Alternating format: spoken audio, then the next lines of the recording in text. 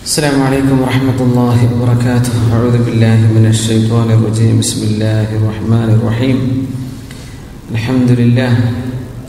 الحمد لله نحمده ونستعينه ونؤمن به ونستغفره ونستهديه ونتوب إليه.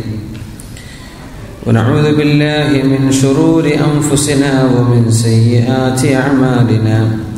من يهده الله فلا مضل له ومن يضلله فلا هادي له. ونشهد أن لا إله إلا الله وحده لا شريك له. ونشهد أن سيدنا ونبينا محمدا عبده ورسوله. أرسله بالهدى ودين الحق ليظهره على الدين كله ولو كره المشركون.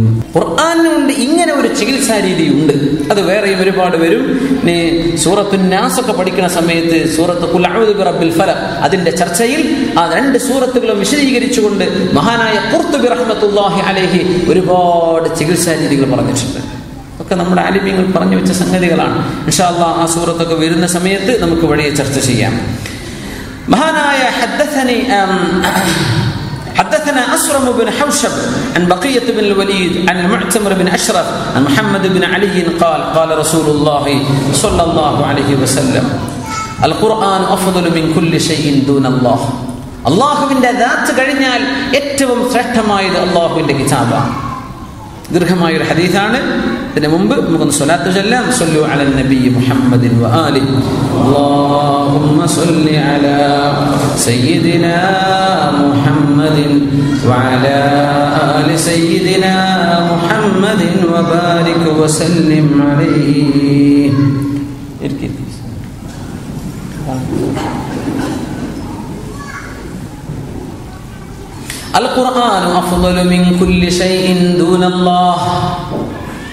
അള്ളാഹുവിന്റെ ദാത്ത് കഴിഞ്ഞാൽ പിന്നെ ഏറ്റവും ശ്രേഷ്ഠമായത് അള്ളാഹുവിന്റെ കലാമാണ് കാരണം അള്ളാഹുവിന്റെ സിഫത്തുകളിൽ പ്രധാനപ്പെട്ട അള്ളാഹുവിന്റെ അള്ളാഹുവിന്റെ സിഫാത്തിൽ അസലിയിൽപ്പെട്ട റബ്ബിന്റെ സിഫത്താണ് അള്ളാഹുവിന്റെ കലാം അള്ളാഹുവിന്റെ കലാം ഏറ്റവും ശ്രേഷ്ഠമാണ് وفضل القرآن على سائر الكلام كفضل الله على خلقه അള്ളാഹുവിന്റെ കലാമും മറ്റൊരുപാട് ആളുകളുടെ കലാം. കലാം എന്ന് പറഞ്ഞാൽ സംസാരം.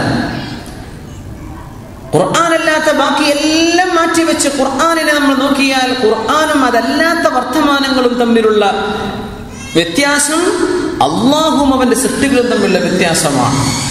ഇനി മനസ്സിലാക്കേണ്ടത് അള്ളാഹുവിന്റെ കലാമിനെ ഖുർആാനിനെ ആരെങ്കിലും ബഹുമാനിച്ചാൽ അള്ളാഹ് അവൻ അള്ളാഹുനെയാണ് ബഹുമാനിച്ചത്. അള്ളാഹുന്റെ കലാമിനെ ബഹുമാനിച്ചാൽ അവൻ അള്ളാഹുനെയാണ് ബഹുമാനിച്ചത്. ഇപ്പോ ഖുർആൻ ശുദ്ധിയുള്ള ആളുകളല്ലാതെ ഖുർആൻ തുടരുത്. ശുദ്ധി എന്ന് പറയുന്നത് ഇസ്ലാമിന്റെ ടെർമിനോളജിയിൽ വുളു ഉള്ള ആളുകൾ അത് ചെറിയ അശുദ്ധിയുള്ള ആളുകൾക്ക് വുളു വേണം വലിയ അശുദ്ധിയുള്ള ആളുകൾ ജനാപത്ത് കുടിച്ച് ശുദ്ധി വരുത്തണം അവരെ ഖുർആൻ തൊടാവും. പിന്നെ ഒരു എക്സ്ക്യൂസ് പറയും ഇപ്പോ മുത്തല്ലിം പഠിക്കാൻ ഉദ്ദേശിക്കുന്ന കൊച്ചുമക്കൾ. നാൽപ്പത് വയസ്സായിട്ട് പഠിക്കാൻ ഒരുങ്ങിയതാ അവരെ കൊതു കൊടുത്തിട്ടേ തൊടാൻ പാടുള്ളൂ. പ്രായപൂർത്തിയായ പെൺകുട്ടികളാണ്. അവരുടെ അവരുടെ പിരീഡിന്റെ സമയത്താണ് ഖുർആൻ തൊടാൻ പാടില്ല. പഠിക്കാൻ വേണ്ടി ഒരു എക്സ്ക്യൂസ് ഉണ്ട്. അതൊക്കെ പെട്ടെന്ന് നമ്മളൊക്കെ സാധാരണഗതിയിൽ മൊത്തത്തിൽ പറഞ്ഞു വരാറുണ്ട്. ആർക്കും ഖുർആൻ പഠിക്കുന്ന കുട്ടികൾക്ക് തൊടാലോ? ആരായി തൊടുന്നത്? ഡിഗ്രിക്ക് പഠിക്കുന്ന കുട്ടി അഫ്ദുൽക്ക് പഠിക്കുന്ന കുട്ടിയോട് പഠിപ്പിക്കുന്ന ഉസ്താദ് പറഞ്ഞു കൊടുക്കുക എന്ത്? ഖുർആൻ എടുത്തപ്പോൾ അതിന് കുഴപ്പമില്ല പഠിക്കാൻ വേണ്ടി. ലൊറൂറത്തായ വിഷയം അവളുടെ ദീനിൽ അവൾക്ക് അത്യാവശ്യമായ ഒരു വിഷയം പഠിച്ചെടുക്കണം. അങ്ങനത്തെ ഒരു സ്റ്റേജിനാണ് ആ പെൺകുട്ടി. അപ്പോഴേ അവർക്ക് ഒതു ഇല്ലാതെ തൊടാൻ ഒരു ചാൻസ് അല്ലെങ്കിൽ ഒരു എക്സ്ക്യൂസ് ഇവിടെ നൽകുന്നുള്ളൂ. അതല്ല അത് പിന്നെ ഒരാഴ്ച കഴിഞ്ഞിട്ട് പഠിച്ചെടുക്കേണ്ട വിഷയമുള്ളൂ ഖുർആൻ തൊടേണ്ട മോളെ തൊടാൻ പറ്റില്ല. ഇത് ഖുർആാനോട് കാണിക്കുന്ന ബഹുമാനം. അതൊക്കെ തൊടാർക്ക് ആരതൊക്കെ പറഞ്ഞത്? എന്നൊക്കെ ഖുർആാനിന്റെ ലാഘവത്തിൽ കാണുന്നത് അള്ളാഹുവിനെ കേൾക്കുന്നതിന്റെ തുല്യമാണ് ഇത് അള്ളാഹുവിന്റെ കലാമാണ്. റബ്ബിന്റെ കലാമാണ്. ഖുർആൻ പൊടി പിടിച്ച് കിടക്കരുത്. ഖുർആൻ പൊടി പിടിച്ച് കിടക്കരുത്. വീടുകളിലൊക്കെ ശ്രദ്ധിക്കണം. റമദാൻ കഴിഞ്ഞ് എടുത്തു വെച്ചതാണ് ഇനി അടുത്ത റമദാൻ വരുമ്പോൾ ആലോചിക്കാം. അങ്ങനത്തെ അവസ്ഥ വരരുത്. ലാ ഇല്ലൽ ഈ കലാമിനെ ബഹുമാനിക്കുന്നത് അള്ളാഹുവിനെ ബഹുമാനിക്കുന്ന തുല്യമാണ് فقد وقر الله ومن لم يوقر القرآن ലം യുവക്കിരില്ലാഹ് അള്ളാഹുവിനെ ബഹുമാനിക്ക ഖുർആനെ ബഹുമാനിക്കാത്തവർ അള്ളാഹുവിനെ ബഹുമാനിച്ചില്ല وحرمة القرآن عند الله كحرمة الوالد على ولده അള്ളാഹുവിന്റെ ഖുർആൻ അള്ളാഹുവിന്റെ ഖുർആനിന് റബ്ബിന്റെ അടുത്തുള്ള മഹത്വം ഏതുപോലെ അറിയുമോ ഒരു കുട്ടിക്ക് തന്റെ പിതാവിന്റെ മഹത്വം എത്രയാണോ? ഒരു കുട്ടിയെ സംബന്ധിച്ചിടത്തോളം പിതാവിന്റെ മഹത്വം എത്രയാണോ? അതുപോലെയാണ് അള്ളാഹുവിന്റെ കലാമിന് അള്ളാഹുവിന്റെ അടുത്തുള്ള മഹത്വം. മനസ്സിലാക്കേണ്ടത് ആ ഉദാഹരണമാണ് വലിയ അത്ഭുതം. പ്ലസ് ടുവിന് പഠിക്കുന്ന മക്കളോട് വർത്തമാനം പറയാൻ പേടിയുള്ള വാപ്പന്മാരും ഉമ്മമാരുള്ള കാലാണിത്. അവരോട് മിണ്ടാൻ പറ്റില്ല. സ്വന്തം മോനാണിത്. കൈപിടിച്ച് നടക്കാൻ വയ്യാതെ ചെറിയ കുഞ്ഞായിരുന്ന കൈക്കുഞ്ഞായി വളർത്തിക്കൊണ്ടുവന്ന കുഞ്ഞിന് ആ കുഞ്ഞ് വലുതായി ജീവനും ശരീരവും പുഷ്ടിയും മസിലൊക്കെ ഉണ്ടായി വന്നാൽ കുഞ്ഞിന് വാപ്പയുടെ മഹത്വം എത്രയാണെന്ന് മനസ്സിലാവണില്ല ഉമ്മയുടെ മഹത്വം എത്രയാണെന്ന് അറിയുന്നില്ല വാപ്പയുടെ ഒരു നിർദ്ദേശമോ അള്ളാഹുവിന് അള്ളാഹുവിൻ ഇഷ്ടപ്പെടുന്ന ഒരു വിഷയം ദീനിന് എതിരല്ലാത്തൊരു വിഷയം ഉമ്മയോ വാപ്പയോ നിർദ്ദേശിച്ചാൽ അത് സ്വീകരിക്കാൻ നമ്മൾ കടപ്പെട്ടവരാണ്. We have no choice but to listen to them ഇത് നമ്മുടെ മാതാപിതാക്കൾക്ക് വകവെച്ചു കൊടുക്കേണ്ട മാതാപിതാക്കൾക്ക് അള്ളാഹു നൽകിയ അവകാശമാണ്. ഒരു കുട്ടിയും സ്വന്തം വാപ്പയോട് എതിർത്ത് സംസാരിക്കരുത്. ഒരു കുഞ്ഞും ഒരു ഉമ്മയോട് എതിർത്ത് സംസാരിക്കരുത്. വിശുദ്ധ ഖുർആാനിന്റെ മഹത്വം പറയാൻ അള്ളാഹു ഉദാഹരണം പറഞ്ഞത് ഒരു കുഞ്ഞിന് വാപ്പയുടെ മഹത്വം എത്രയാണോ ഒരു കുഞ്ഞിനെ സംബന്ധിച്ചിടത്തോളം വാപ്പയുടെ മഹത്വം എത്രയാണോ അതുപോലെയാണ് അള്ളാഹുവിനടുത്ത് ഖുർആാനിന്റെ മഹത്വം. അപ്പൊ എത്രയാ മാതാപിതാക്കളെ മക്കൾ മനസ്സിലാക്കേണ്ടത്? ഞാൻ പറയാം നമ്മളൊക്കെ എഴുന്നേറ്റ് പോയിട്ട് ഇവിടെ കുറെ ഈ പ്ലസ് ടുവിനും ഡിഗ്രിക്കും പഠിക്കുന്ന മക്കളെ ഇവിടെ കൊണ്ടുവന്ന് ഇരുത്തേണ്ടത്. അവരോട് അതൊക്കെ പറഞ്ഞു കൊടുക്കേണ്ടത്. അവർ പോലെ ഗെയിം കളിച്ചിരിക്കേണ്ടാവും പോരക്ക് അല്ലേ? അവരിത് കേൾക്കുന്നില്ല അറിയുന്നില്ല. നമ്മൾ കേൾപ്പിച്ചു കൊടുക്കുന്നില്ല അതിന് അവസരവും കൊടുത്തിട്ടില്ല. വാപ്പയുടെ മഹത്വത്രയാ ഉമ്മയുടെ മഹത്വത്രയാ അവർക്ക് അറിയൂല. എന്നിട്ട് ഉമ്മാക്ക് അവളോട് പറയാൻ പേടി മോളോട്. വാപ്പാക്ക് മോനോട് സംസാരിക്കാൻ പേടി. ആരാ ഇത് സ്വന്തം മോൻ? സ്വന്തം മക്കളോട് ഒരു twelve thirteen fourteen years old ഇവരോട് സംസാരിക്കാൻ സ്വന്തം ഉമ്മാക്കും വാപ്പാക്കും ധൈര്യമില്ല. പിന്നെ ആരവർക്കൊക്കെ പറഞ്ഞു കൊടുക്കുക? ഹെറുമത്ത് മനസ്സിലാക്കുന്നില്ല. ഈ ബഹുമാനമാണ് ദീനിന്റെ അസുൽ. ഈ ആദരമാണ് ഇസ്ലാമിന്റെ അസുൽ ഇതാണ്. ഇത് തകർത്തിക്കളഞ്ഞാൽ പിന്നെ ലോകത്ത് ദീനിന്റെ അടിസ്ഥാനം നഷ്ടപ്പെട്ടു പോകും. ഹെറുമത്ത് ചെയ്യുക അള്ളാഹുവിന്റെ കലാമിന്റെ ഹെറുമത്ത് ചെയ്യുക. അൽ ഖുർആൻ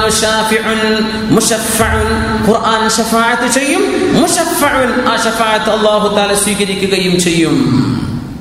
ആ ഷഫാഅത്ത് അള്ളാഹു താല സ്വീകരിക്കുകയും ചെയ്യും.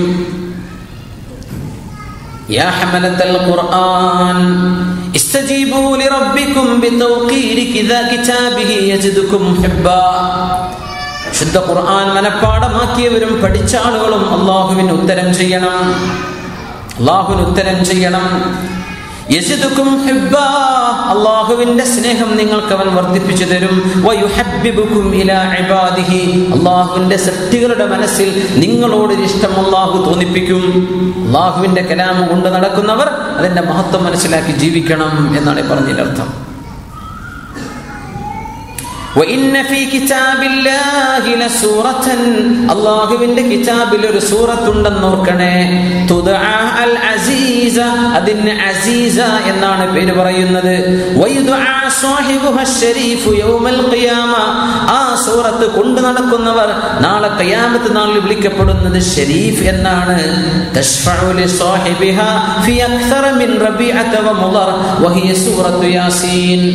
മുതറിന്റെയും റബീഇന്റെയും രണ്ട് ഗോത്രങ്ങൾ അവരിലുള്ള ആളുകളുടെ എണ്ണത്തെക്കാളും കൂടുതലുള്ള ആളുകൾക്ക് ഈ സൂറത്ത് നാളെ ഷഫാത്ത് ചെയ്യും.